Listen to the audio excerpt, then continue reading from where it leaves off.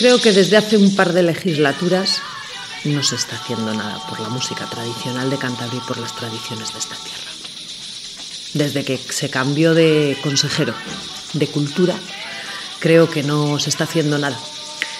Por eso creo que sería muy importante que el gobierno actual apostara, apostara de manera firme y decidida por esta, por esta cultura, que al final es nuestra cultura, nuestras raíces, nuestras tradiciones. Y en el momento que, que una sociedad pierde su cultura, sus tradiciones, ya no tiene una identidad y en el momento que no tienes una identidad no tienes un nombre propio y no eres nadie.